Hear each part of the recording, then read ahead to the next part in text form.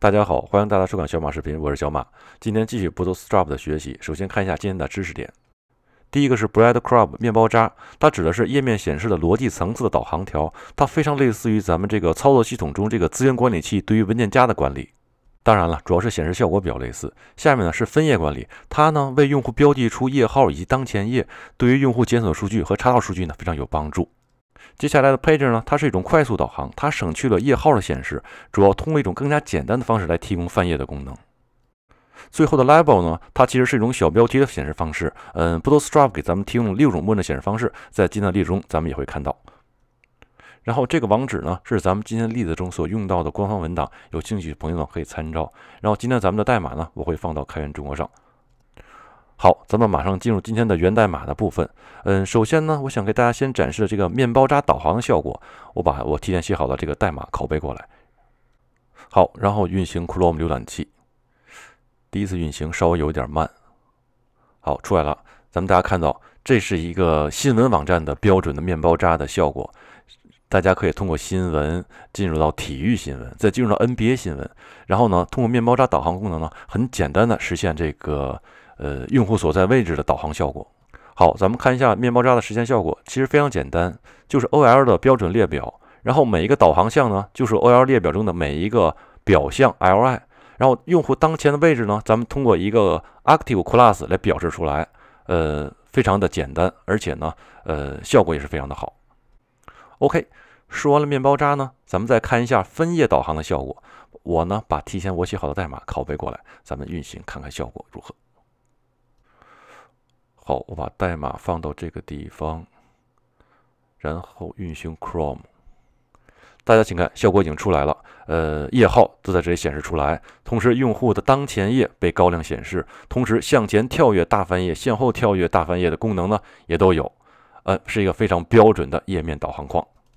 我们看一下分页导航的实现，首先是一个标准 HTML5 的 num tag，然后呢就是一个 URL 列表，配有一个。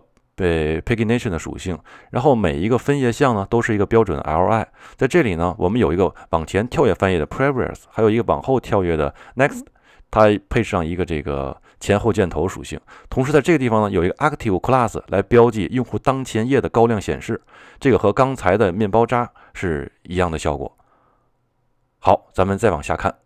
嗯，接下来是 Pager。嗯，我刚刚提到过，Pager 是一种快速导航，它相当于呃 Pagination 导航来说呢，它省去了这个页号的显示，只有两个按钮，一个是向前翻页，一个是向后翻页。但大家看到，呃，显示出来也非常简单。而对于刚才来说呢，是各个页号都有，而它只有一个前页后页。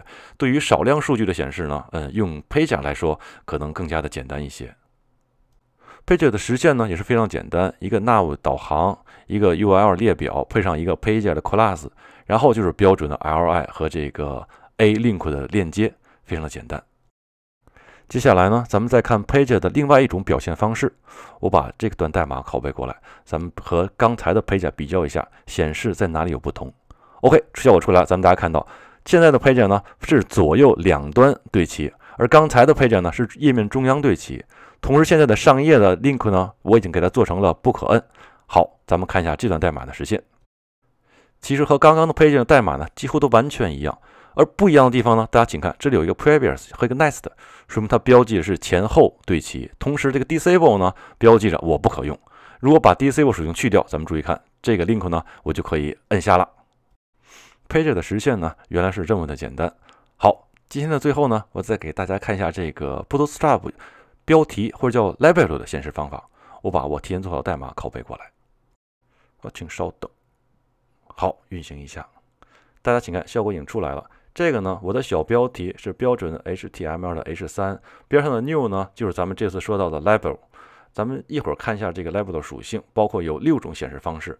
首先是 H3 的我的小标题，然后在边上这个 label 呢，其实就是一个 span 的 tag，配上一个 label 和一个 label default 的这个。